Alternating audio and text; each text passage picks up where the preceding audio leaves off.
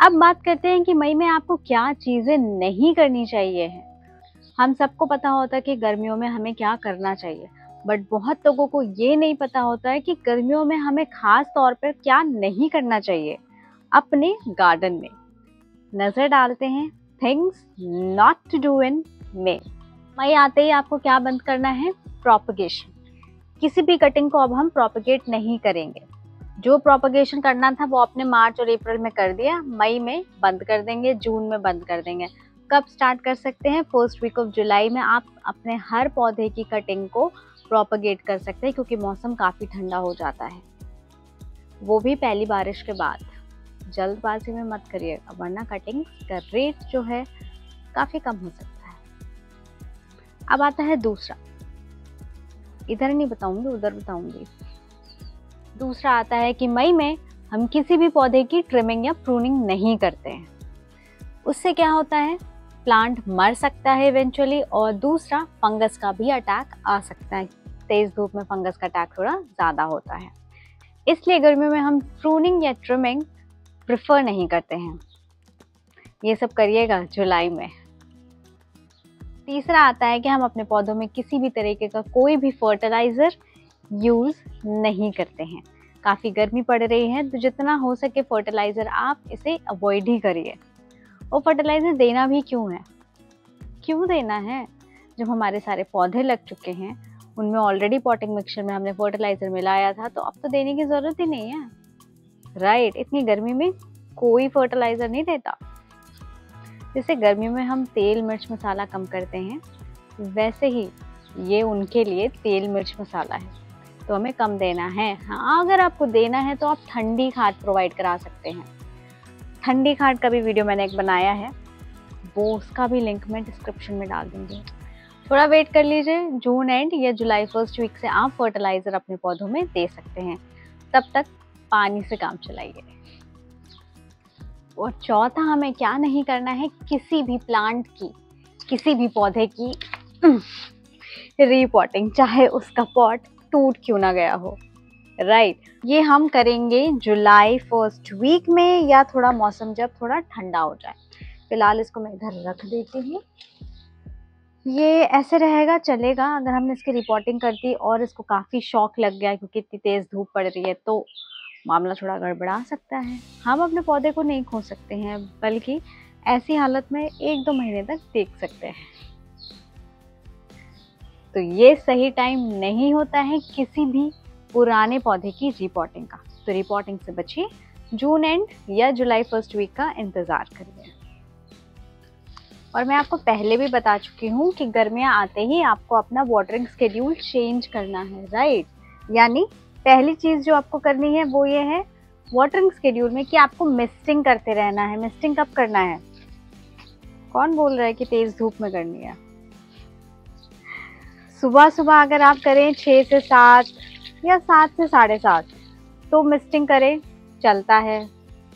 या फिर आपको अगर शाम को मिस्टिंग करनी है तो साढ़े पाँच छः साढ़े छः तक मिस्टिंग आप कर सकते हैं। मिस्टिंग करना गर्मियों के टाइम पे बहुत अच्छा रहता है। काफ़ी एक तो टेम्परेचर कम हो जाता है सारी चीज़ों का एंड प्लस धूल, मिट्टी, जितने भी फंगस और छोटे मोटे कीड़े कीड़े वीड़े होते हैं ना, वो भी धुलते रहते हैं। तो मिस्टिंग ज़रूर करें, इससे अच्छी ह्यूमिडिटी प्रोवाइड होती है। दूसरी चीज़ हमें क्या करनी है? तो वाटरिंग स्केड्यूल की अगर हम बात करें तो वो भी हमें चेंज करना है गर्मी आते वक्त। क्या कर सकते हैं? सुबह अगर आप पानी देना पसंद करते हैं तो पाँच से छः या छः से सात, उस बीच आप इन्हें पानी दे सकते हैं। उसके बाद मत दीजिए, क्योंकि बहुत तेज़ गर्म होती है, फिर पूरे टाइम आपके जो पौधे हैं, वो धूप में ही रहेंगे। अगर आपके पास सुबह टाइम नहीं है और आप प्रेफर करते हैं कि शाम को वक्त हम पानी दें तो आप पाँच, साढ़े पाँच से लेकर सात बजे तक आप शाम को पानी दे सकते हैं। ज़्यादा रात में पानी मत दीजिए, कि कुछ कुछ पौधे फंगस के अटैक में आ जाते हैं, अगर पत्तियाँ उनकी गीली रह जाती हैं तो। ठीक है? की बात करें तो गुलाब में हमें किसी भी तरीके का कोई भी फर्टिलाइज़र नहीं देना है, कोई भी पेस्टिसाइड नहीं छिड़कना है, और इसकी जितनी भी ब्रांचेज हैं प्रूनिंग या ट्रिमिंग नहीं करनी है। जो सूखी ब्राउन ऐसी पत्तियाँ हो जाती है, वो आप हाथ से रिमूव कर सकते हैं। लेकिन प्रूनिंग या ट्रिमिंग मैं प्रेफर नहीं करती हूँ गर्मियों में तो आप रोज़ पे हाथ भी मत लगाइए। बस इसमें पानी दीजिए और एक प्रॉपर सनलाइट इसे तेज़ धूप में भी रखेंगे तो इसकी पत्तियाँ ना थोड़ी जल सकती हैं, इसलिए ग्रीन नेट प्रेफर करती हूँ रोजेस के लिए। तो सबसे पहले हमें मई में क्या करना चाहिए? ग्रीन नेट अप्लाई करना चाहिए अपने पौधों के लिए। अगर आप टेरेस गार्डनिंग के शौकीन हैं और आपने अच्छा खासा टेरेस गार्डन बनाया हुआ है कुछ इस तरीके से तो आपको अपने सारे पौधों को एक शेड के नीचे रखना है। चाहे वो आप ग्रीन नेट का शेड प्रोवाइड करें या किसी भी तरीके का शेड। ग्रीन नेट वैसे काफ़ी साल तक चलता है, इसमें बहुत सारे परसेंटेज आते हैं like eighty percent ninety five percent fifty percent and seventy five percent आप अपने हिसाब से ग्रीन नेट लगाइए और अपने पौधों को तेज़ धूप से बचाइए। ग्रीन नेट अगर नहीं लगाएँगे तो क्या हो सकता है? पत्तियाँ आपकी जल सकती हैं प्लांट आपका मर सकता है, जो ब्लूमिंग्स हैं, यानी जो आपके फूल खिलते हैं, उनका साइज़ छोटा हो सकता है, जो फल हैं, जो छोटे से फल आए हैं फ्रूट्स आए हैं, या वेजिटेबल्स में छोटे छोटे से आए हैं वेजिटेबल्स आए हैं, उनका साइज़ भी छोटा हो सकता है और जल सकता है। मैं मानती हूँ सात से आठ घंटे की धूप चाहिए होती है एक फ्रूट्स और वेजिटेबल प्लांट को लेकिन जो छोटे पौधे हैं, उन्हें इतनी धूप नहीं चाहिए होती है। एक फुल्ली ग्रोन मेच्योर प्लांट को ही सात से आठ घंटे की धूप चाहिए होती है।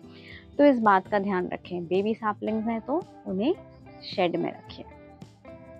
और एक इंपॉर्टेंट चीज़ जो मैं शेयर करना चाहती हूँ वाटरिंग शेड्यूल के बारे में, वो ये है कि विंटर्स में काफ़ी कम जो पौधे होते हैं, वो ओवर वाटरिंग से मरते हैं, क्योंकि हम काफ़ी पानी की जो फ्रीक्वेंसी है, वो हम कम कर देते हैं। लेकिन समर आते ही हम शायद डेली पानी डाल देते हैं, दो बार पानी डाल देते हैं। ठीक है, जिनके यहाँ बहुत तेज़ धूप आ रही उन्हें दो बार भी पानी डालना पड़ सकता है, एक बार पानी डालना पड़ सकता है, या ऑल्टरनेट डेज़ पे वो अपना वाटरिंग स्केड्यूल आप अपने हिसाब से मैनेज कर सकते हैं। लेकिन आपको क्या करना है, जब भी पानी दीजिए, उससे पहले आप अपने पौधों की मिट्टी ज़रूर चेक कर लीजिए। Check your soil before watering ठीक है? तो उससे क्या होगा, मान लीजिए अगर आपके पौधे में नमी बनी है तो आपको उस पौधे में पानी डालने की ज़रूरत नहीं है। फिंगर से छू सकते हैं वुडन स्टिक या चम्मच जो अवेलेबल होते हैं जोमेटो के में मिलते हैं, उनसे आप चेक कर सकते हैं कि आप अगर उस चम्मच में या आपकी उंगलियों में मिट्टी चिपक रही है, यानी उसमें मॉइस्चर है तो पानी नहीं देना है। और अगर मिट्टी उसमें नहीं चिपक रही है, यानी सॉइल ड्राई है तब हम पानी दे सकते हैं। तो always check your soil before watering them तो ये थी मेरी कुछ टिप्स जो आपको मई में नहीं करनी है और कुछ पॉइंट्स मैंने बताए जो करने हैं।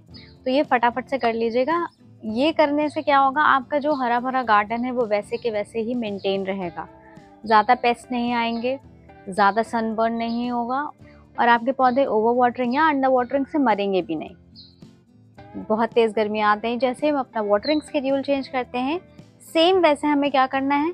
जब हम अपने पौधों को कीड़ों की दवाई डालते हैं, यानी पेस्टिसाइड छिड़कते हैं तो उसका भी स्केड्यूल हमें चेंज करना है। पेस्टिसाइड छिड़कने का बेस्ट टाइम होता है। हाँ सुबह होता है आई नो लेकिन इतनी तेज़ धूप में आप क्या करिए? आप शाम को दीजिए पेस्टिसाइड ताकि उनका असर धूप आते आते नेक्स्ट डे थोड़ा सा कम हो जाए। वरना क्या होता है, अगर आप नॉर्मल नीम ऑयल भी पानी में मिला के डालेंगे ना तो कुछ हद तक कुछ पत्तियाँ जो काफ़ी कमज़ोर और कोमल होती हैं, वो जल सकती हैं नीम ऑयल से भी। जी हाँ। तो आप ध्यान रखिए कि शाम को अपना, और जैसे वाटरिंग स्केड्यूल चेंज किया है, वैसे ही अपना पेस्टिसाइड वाला स्केड्यूल भी चेंज कर दीजिए। आई नो गर्मियों में मिली बग का प्रकोप जो है थोड़ा ज़्यादा हो जाता है बट फिकर नॉट नीम ऑयल है, साबुन है मिक्स करिए, पानी में ऐड करिए लिक्विड हैंड वॉश सब कुछ ऐड करिए, अच्छे से मिक्सचर बनाइए और अपने पौधों को दीजिए।